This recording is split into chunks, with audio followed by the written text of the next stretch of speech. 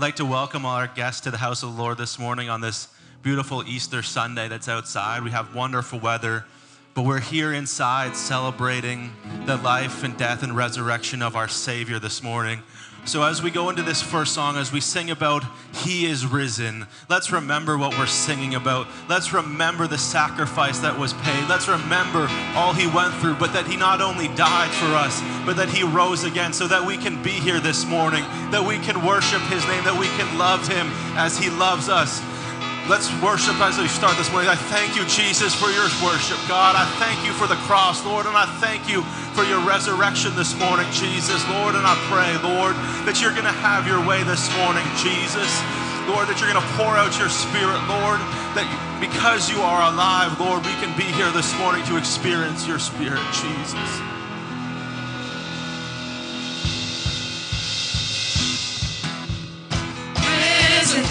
He's risen, forever glorified.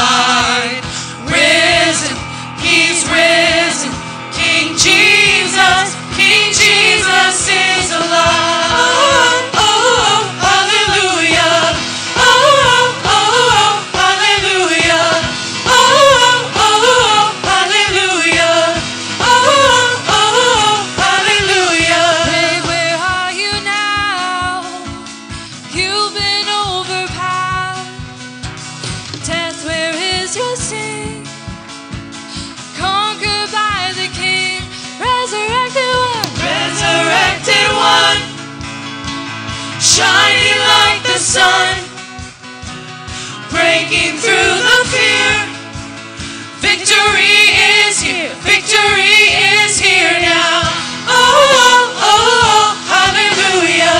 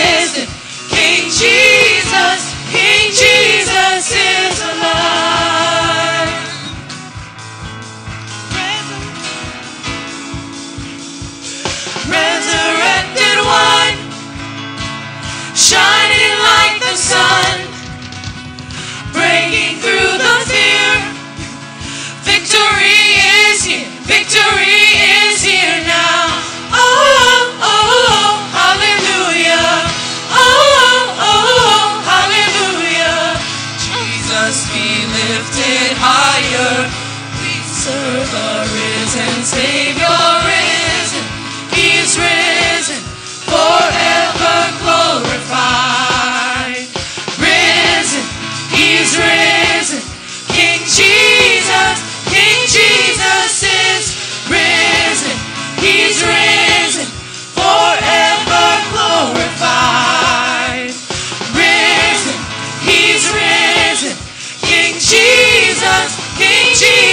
Is alive.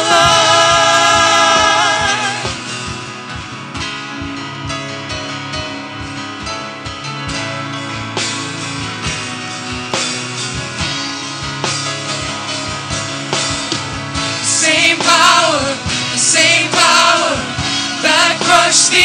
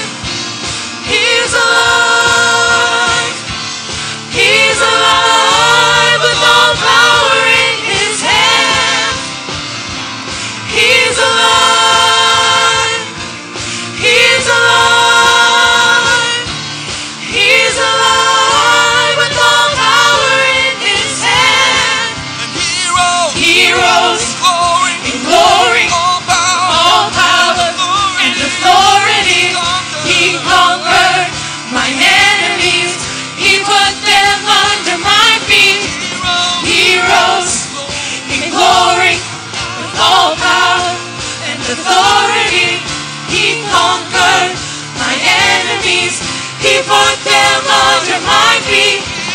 Heroes in glory, with all power and authority, he conquered my enemies. He put them under my feet.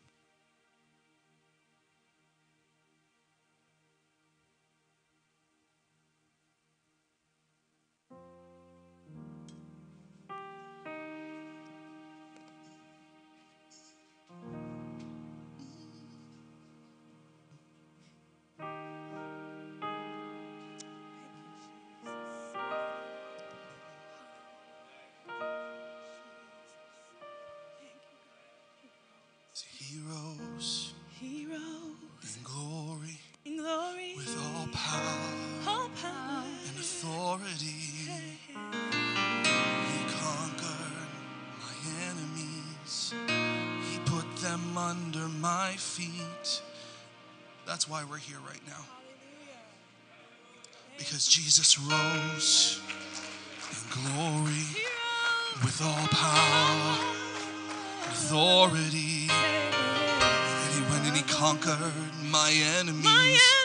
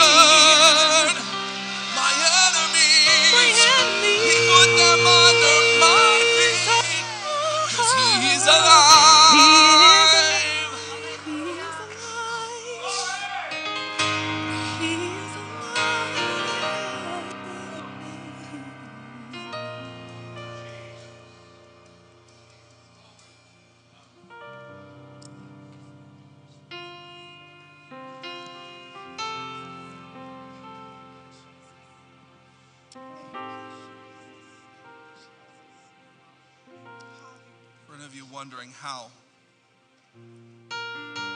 this next song we're going to sing is outlining what he did. It's an older one. Um,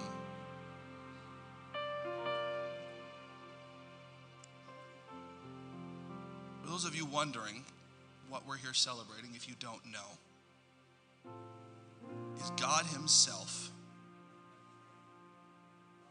to just stop there and absorb that. God Himself decided, I can't leave them hopeless anymore.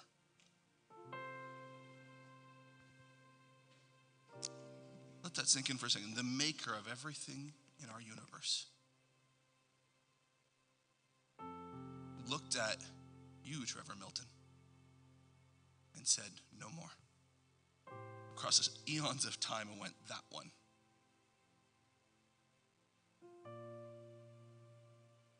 And so he went and he died for us and paid the penalty that was ours.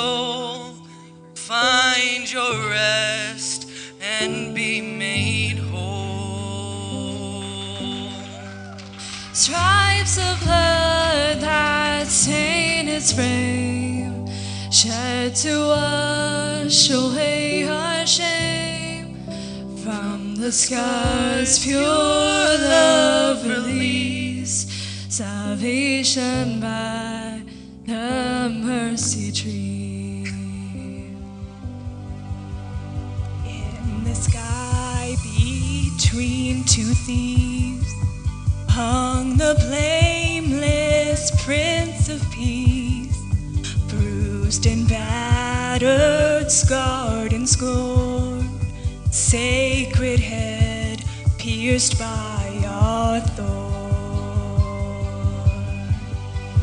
It is finished was his cry, the perfect lamb was crucified, his sacrifice our victory. Savior chose the mercy tree.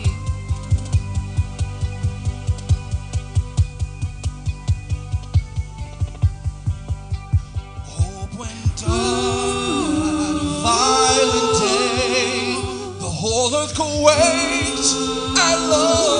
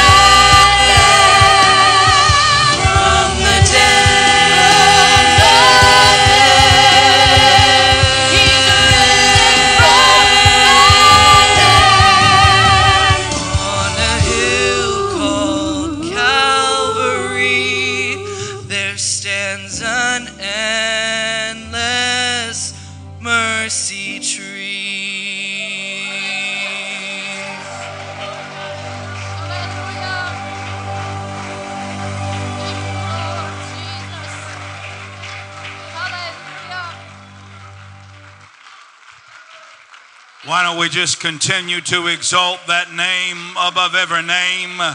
Hallelujah, hallelujah, hallelujah. Come on, church. Oh, Jesus' name, Jesus' name, Jesus' name. Now I want to do something weird, but I want to turn that praise into worship. And I'll tell you why. Because the Lord wants to do something intricate today in this service. He wants to do something intricate in your lives.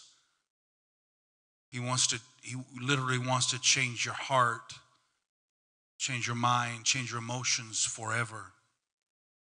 And so this has been an amazing time of worship in worship service. And so let us begin to. So, so praise is different from worship. Praise is saying how great God is and what He's done. Worship is, I love you, Jesus. Hallelujah. You're so wonderful. Could we do that? We just raise a hand up to heaven. Lord, I desire you. I love you and I desire you. Oh, Jesus, draw me close to you today. That's it. He is as close as the mention of his name. Begin to open your mouth and begin to talk to him. Jesus, I love you. I desire you. I need you. You are the lover of my soul because the Spirit of the Lord is in this place. There is liberty which means God can do anything He desires to do. Hallelujah. But as you worship, uh, He is now able to do it in your life. Uh, when you worship, uh, He is now able to change you forever. Hallelujah. Just for one more moment, Lord, I love you. Hallelujah. Hallelujah. Hallelujah. Hallelujah. Oh, yarabaye kabaye pata. Himbaroso tareteto. Oh, Jesus, you're wonderful. And you see the flow that begins to happen right there. Hallelujah. It takes a life of its own, doesn't it?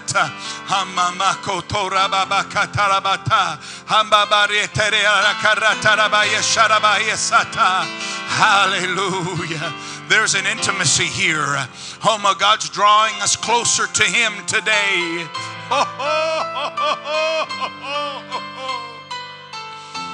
I love you.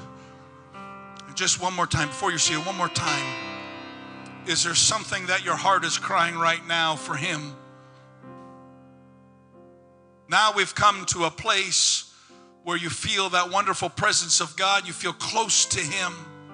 Is there something in your heart that you just, God, I've just always wanted to tell you this. I've always wanted to just speak to you. Hallelujah. He's listening, church. He's listening.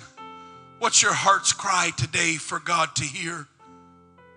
Just for another moment, let us begin to worship and begin to tell God, I love you. I love you. Oh, thank God for the mercy tree. Thank you, Lord, for Calvary. I was messed up. I was going nowhere, and you saved me, and you healed me, and you delivered me, and you set me free, and you set my feet upon a rock. Oh, Jesus, you're wonderful. Oh, you're wonderful. You're wonderful. I will always sing the praises of a mighty God. Hallelujah. Woo! What you're feeling in this place is a wonderful presence of the Spirit of the Lord. I triple dog dare you to open your mouth and just begin to say his name. I triple dog dare you. Hallelujah. Because he is as close as the mention of, and he, he, not only is he dying, he, he died so that he could minister to you.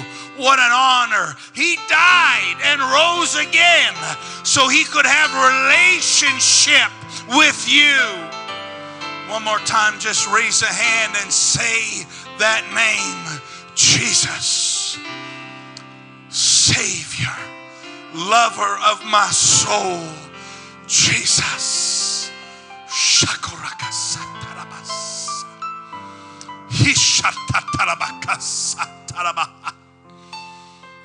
Jesus. Woo!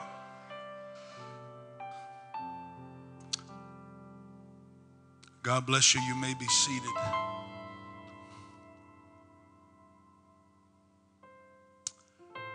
There is such an arresting presence of the Lord in this place, and I thank God for it. I was brought to tears more than once over that worship service today. Brother Armstrong, I just love that song. Where is he? My soul. It's good to have all of my family here today. Amen. I do need to have a quick corporate board meeting after church with, if I could, Brother Trevor Milton as well. It's going to be a strange title, but I'm telling you, you are going to know very quickly where I'm going. But I want to talk to you today about the man in the iron mask. And when I tell you, when I tell you that the reason why we feel this, this is this atmosphere we're feeling right now is not praise and it's not victory. It's intimacy. It's worship. That's where the Lord Jesus, you hear me? That's where the Lord Jesus will do his deepest work. It's it's soft, it's loving. God is a gentleman. I'm in the Holy Ghost. God is a gentleman. He's not going to push you to do something, but He loves you and He died for you. And the reason why we feel this glorious presence is because after 2,000 years, He still reaches. After 2,000 years, He's still reaching. He's still loving. He's still drawing. He's still blessing us with an amazing presence. We, we never deserved it, but we got it anyway. Oh, thank God for Calvary. Thank God for the mercy tree. Many of you know the story of this man in the iron mask in the 17th century. It is a true story. In the 17th century, there was a man who was literally clasped in an iron mask by the French king, Louis XIV. And he had two musketeers with him at all times. My boys are going to grow up to be musketeers, apparently. But they had two musketeers with him at all times. And we don't know who he was. I researched a little bit. We don't know if it was Louis XIV's secret twin brother. We don't know if it was somebody in his army that really messed up. We, we, we don't know if they had some sort of important information against the king. We have no idea. But we do know the punishment. And the punishment was this you can talk about your immediate needs, you can keep it surface. But as soon as you say anything else, if you tell them who you are, if you tell them what you're like, if you tell them anything about your past, the two guards would immediately kill him. Those were the orders. For 34 long years, that man stayed behind the mask. Imagine 34 years, the man behind the mask. And he was transferred to a few prisons, and there was some hubbub when he was there, but he was resigned that this is my fate. I will never be able to have a meaningful relationship with anyone else as long as I live. I will always be the man behind the mask. What a terrible fate to live in the natural.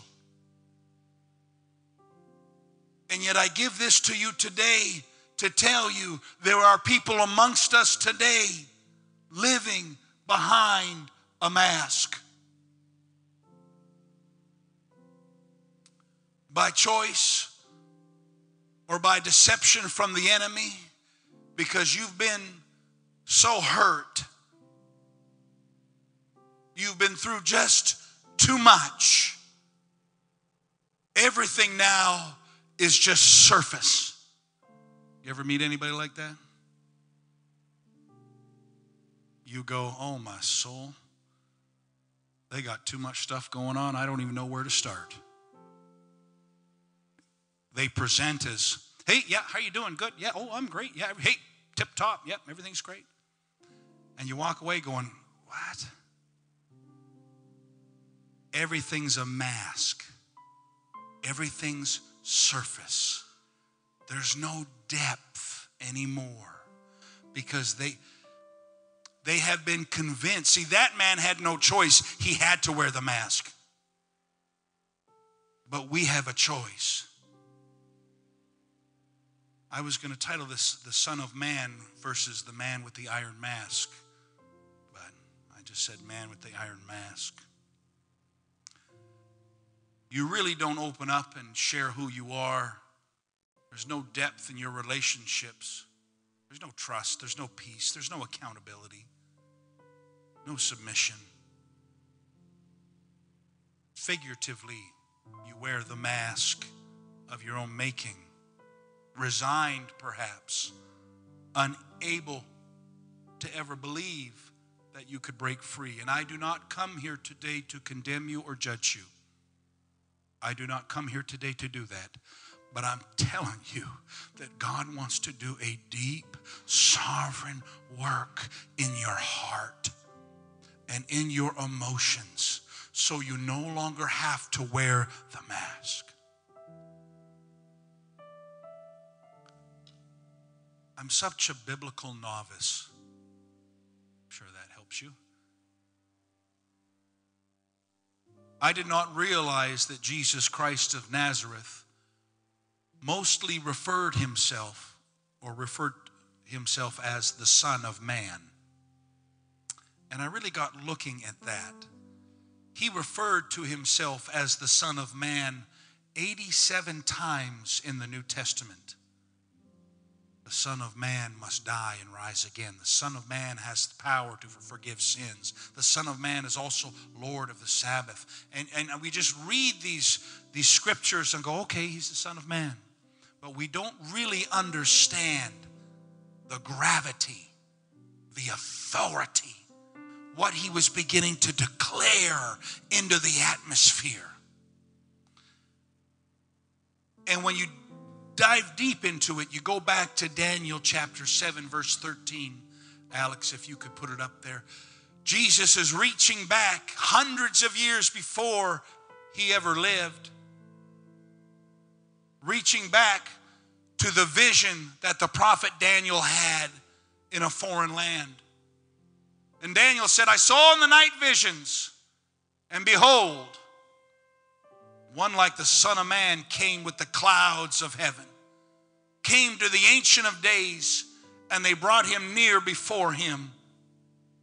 And there was given him this Son of Man dominion, glory, a kingdom, a people, and nations and languages that would serve him. His dominion is an everlasting dominion. It's never going to pass away, and his kingdom shall never be destroyed.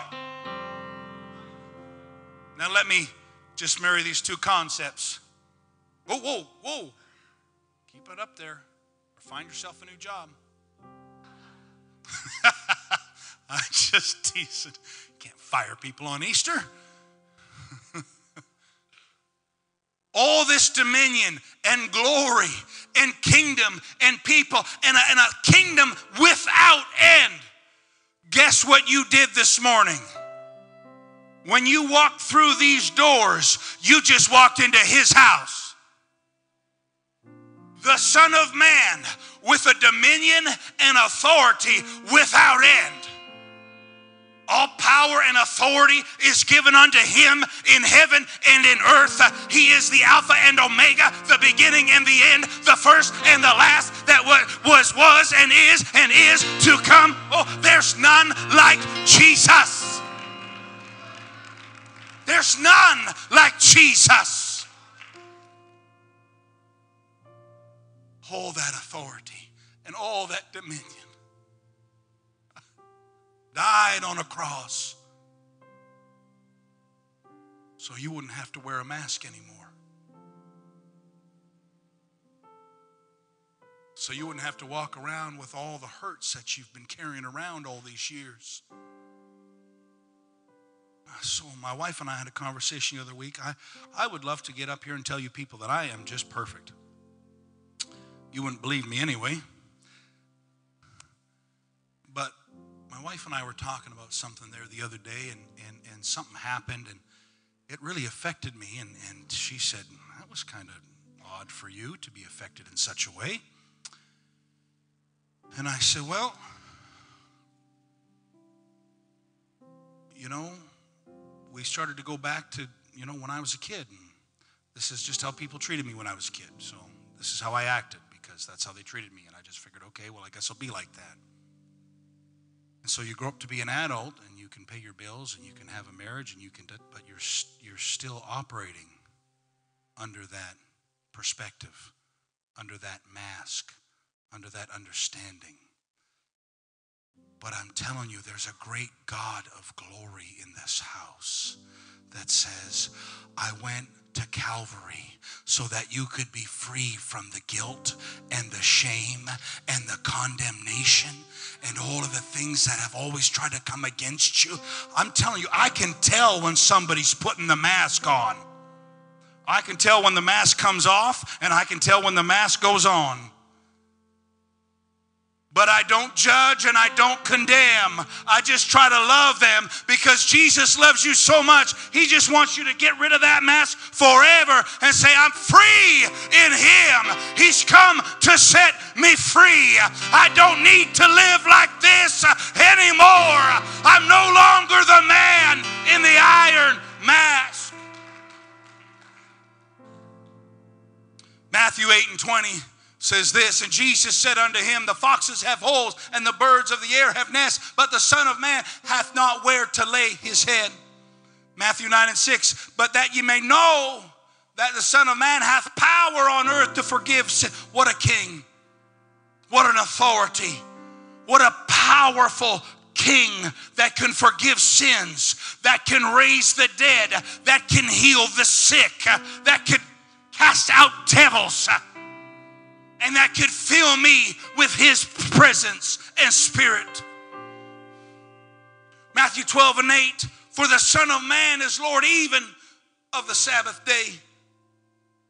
Oh, the Son of Man who forgives sins, Lord of the Sabbath, heals the sick in Luke 5 and 24, suffers many things to die and rise again, Luke 9 and 22 stands at the right hand of God in Acts 7:56 or the place of authority came to serve and give his life for a ransom to many 20 and 28 why does Jesus constantly refer to himself 87 times as the Son of Man? Because what he's telling you and what I'm telling you is he has all authority to break whatever has happened in your life.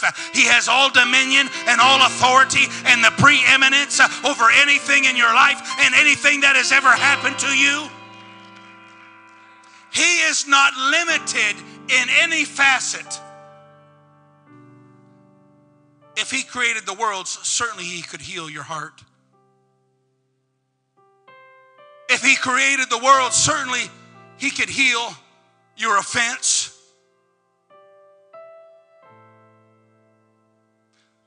You see, he says he's the Son of Man so many times because he's constantly telling his disciples and even us 2,000 years later, he has the power and authority to heal, to set free, to save, to restore, and to forgive your sins.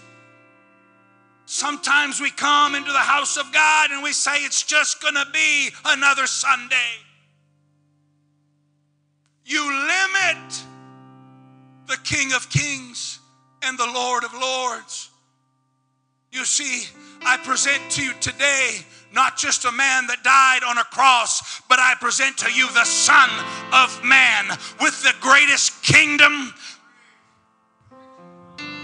that was loosed in the book of Acts, and it is without end. Isaiah 9 and 6 says this For unto us a child is given, unto us a son is born, and the government shall be upon his shoulder, and his name shall be called Wonderful Counselor, the Mighty God, the Prince of Peace. But the next verse says this His government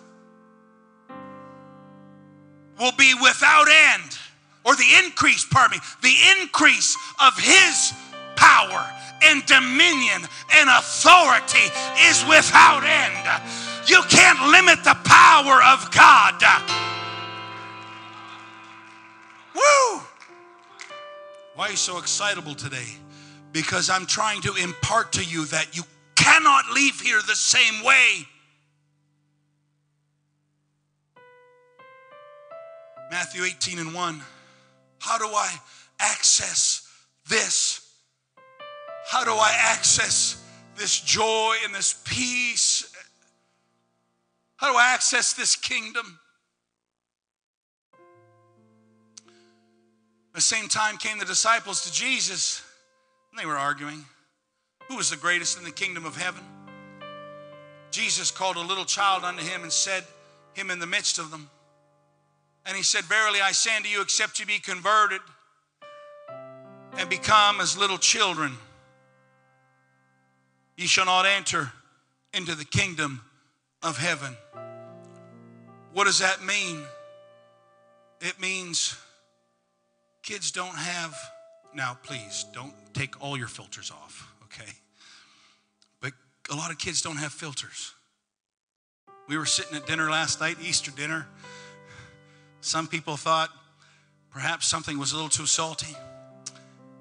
And there's my son Gentry going, I didn't hear it, but Mammy heard it. Gentry just sits there and goes, Man, what's the hate on with all the salt?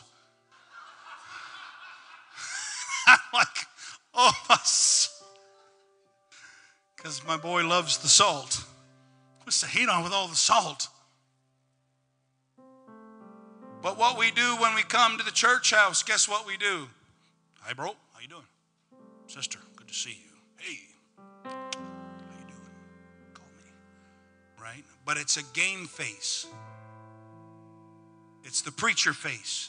It's the platform face. It's the I just had a fight with my spouse, but I have to pretend everything's okay face. That happens across the street, doesn't happen here. I just teasing. And so what you do is you actually over time create a mask. You just become accustomed to, hey, how you doing? I got this. But inside you don't have anything. You're still the hurt little kid. You're still struggling with offense that happened 10 years ago, 20 years ago. He wore the mask for 34 years. But why does Jesus say you have to become like little children? Because adults aren't transparent. Kids are just like, I need you, daddy. That's what kids are like. I need you, dad. Right? When your little boy, little girl scrapes their knee, they don't think, they don't walk around going, no, no, I'm good. I don't need dad right now. Oh, no, no, no. The world is over. I need daddy. I need daddy to come kiss my boo boo and then everything's going to be fine. But what do adults do? I'm good. I got this. We don't have most stuff. We just pretend we do. Unless you become like little children, unless you begin to become transparent in the presence of God,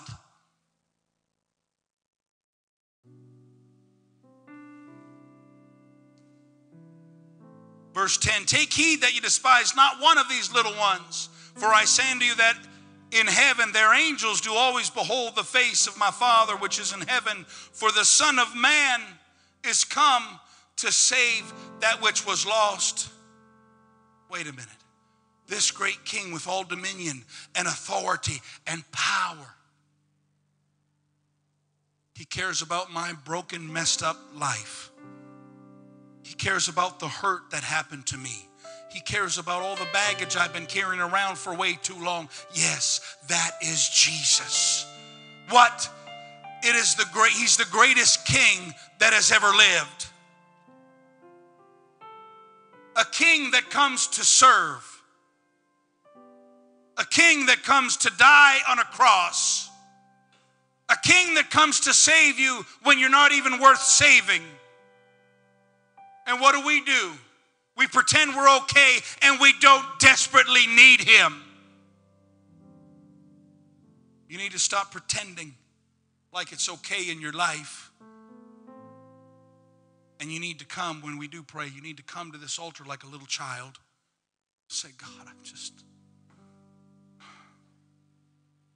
And I'm sure none of you have done this, but have you ever avoided the altar because you didn't want anybody to think that you needed prayer? Right? Have you ever come up come come up here and desperately needed prayer for something but just kind of wandered around and tried to pray for others because you didn't want anybody to know that you needed prayer? You're acting like an adult, not a child. Stop quick acting like adults. because Jesus says you need to come to the kingdom of God as a child Taking all the filters away and taking all the masks away and taken all that junk away that you hide. And at an altar, God can touch you. And at an altar, God can change you. Next verse. Is any among you afflicted? Let him pray. Is any merry? Let him sing psalms. Is any sick among you? Let him call for the elders of the church and let them pray over him, anointing him with oil in the name of the Lord. And the prayer of faith shall save the sick, and the Lord shall raise him up. And if you have committed sins, they shall be forgiven him. Confess your faults one to another. Watch. Then you pray. Then you're healed. There's got to be openness. There's got to be accessibility. And there's got to be transparency. Next verse. And I'm almost coming to a close. The book of Isaiah says, He is despised and rejected of men, man of sorrows, acquainted with grief. And we hid, as it were, our faces from him. We despised him, we esteemed him not. Surely he hath borne our griefs and carried our sorrows, yet we did esteem him stricken, smitten of God, and afflicted. Talking about Jesus. He was wounded for our transgressions, he was bruised for all the bad stuff we've done. The chastisement of our peace was upon him, and with his stripes, or the stripes that they beat him with, whipped him with, with his stripes, we are healed.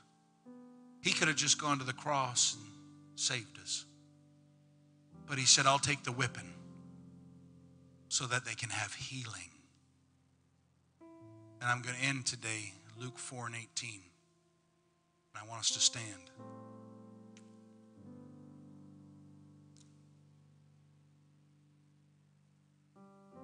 I want you to think about the mask in your life. I want you to think about the mask and what's hiding behind it and what you just won't show anyone. And I want you to take that and I want you to put it on this altar. Say, God, I'm going to come to you as a little child. I'm no longer going to hide. I'm no longer going to pretend that everything is okay when I'm truly broken inside. I just don't want anybody else to know. Jesus preaches his first message. Boy, he would have messed up that service. Spirit of the Lord is upon me. This is, he just reads scripture. The Spirit of the Lord is upon me because he hath anointed me to preach the gospel to the poor. He has sent me to heal the brokenhearted, to preach deliverance to the captives, recovering of sight to the blind, and to set at liberty them that are bruised. Four out of the five of those could be emotional or spiritual healing. We love it when people get out of the wheelchairs. But I'm telling you, I'm looking at broken people in this church. And you get your fancy clothes on every week, right?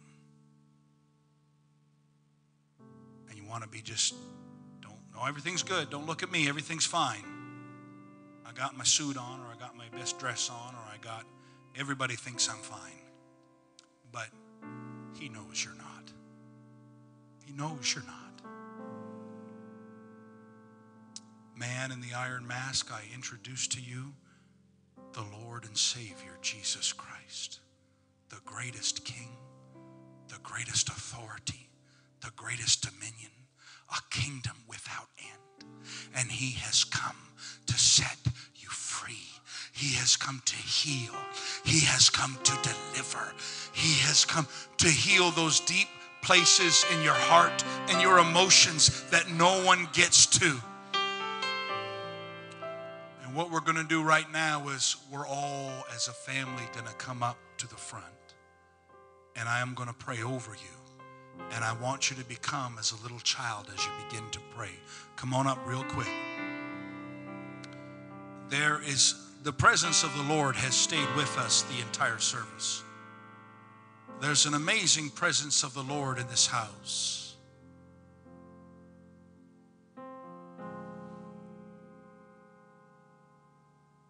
We don't want no Pentecostal Judge Judy's at the altar today. Or Jim the Judge. Uh, not you, Jim, Why did God, God die on Calvary? So we could come Sunday after Sunday pretending we weren't broken? Pretending we were just fine? No, that's just religion. That's just social religion and social construct. That is not the church he died for. The church he died for is a church of healing. As Bishop always says, it's a, it's a spiritual hospital. Hallelujah. So I want you to be open with the Lord today. What are you hiding behind the mask? What are you hiding behind your mask? Close your eyes and I want you to raise your hands right up to heaven. And I, right now, I want you to give that to Him. Lord Jesus, it's Easter, and I'm going to give this to you right now. Hamoko rababaka satarababaka. Hayorobako sotorababaka tarabaha. I want you to release it to him right now. I give my pride, I give my hurt, I give my abuse, I give my lack of trust. I give it to you right now in the name of Jesus Christ. And I am going to pray for you, and God is going to release you, uh, uh, and there's going to be a great healing. There it is right now. In the name of Jesus Christ, I speak healing. I speak healing. Raise your hands right up to heaven. I speak healing in the name of Jesus. Uh, I loose you from the bonds. I'm not hiding anymore behind my mask. Ministry, if you could find someone to pray for uh, in the name of Jesus Christ. Hambo rabaka sharabata. Hitarabaraka sarabaha. Lay hands on somebody right now. Give it to him fully. I'm not wearing my abuse anymore. I'm not wearing my offense anymore. I'm not wearing those things that have happened to me. I'm not going to pretend that I'm okay. I'm going to be like a child and cry, Abba, Father.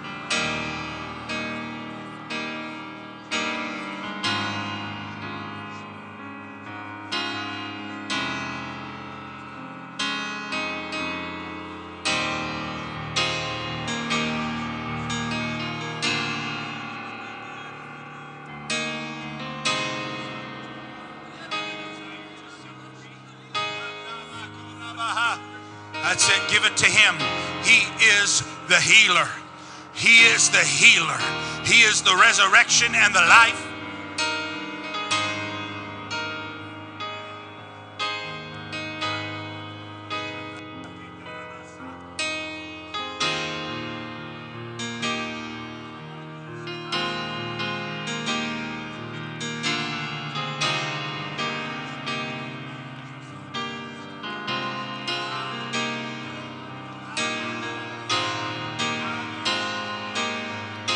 On, if you're done praying, find somebody to pray with. God is doing deep work in lives today. He is restoring hearts.